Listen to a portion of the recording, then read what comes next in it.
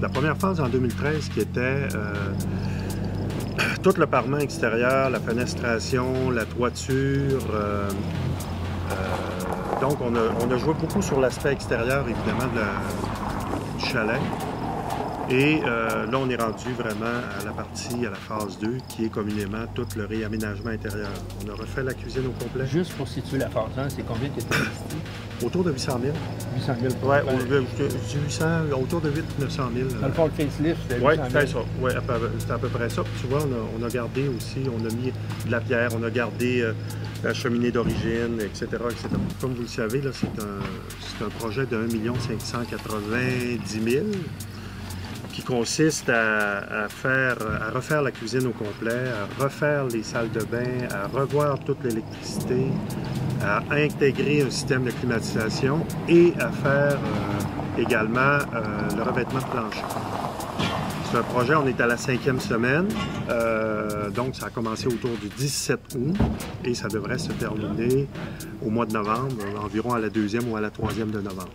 Actuellement, on est dans les temps prescrits. Tout va bien. On est en train de solidifier la charpente à l'intérieur de la cuisine. On va refaire le, plancher en béton.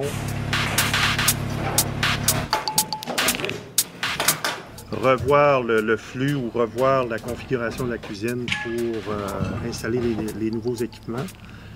Et ensuite de ça, ben, on, va terminer tout le, le parement intérieur, c'est-à-dire les murs vont être en bois, euh, en pain.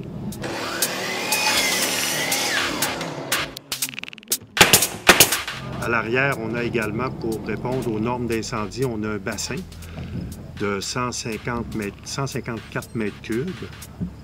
Donc, il fallait vraiment euh, se mettre aux normes de ce côté-là aussi. On en parlait, M. le maire et moi, M. le couturier, ça va être un des plus beaux chalets au Québec. Il est revu et corrigé. Les murs ont été refaits, euh, l'électricité est refaite, euh, euh, les salles de bain vont être refaites, euh, toute la charpente a été gardée. La char- ça, c'est la charpente d'origine.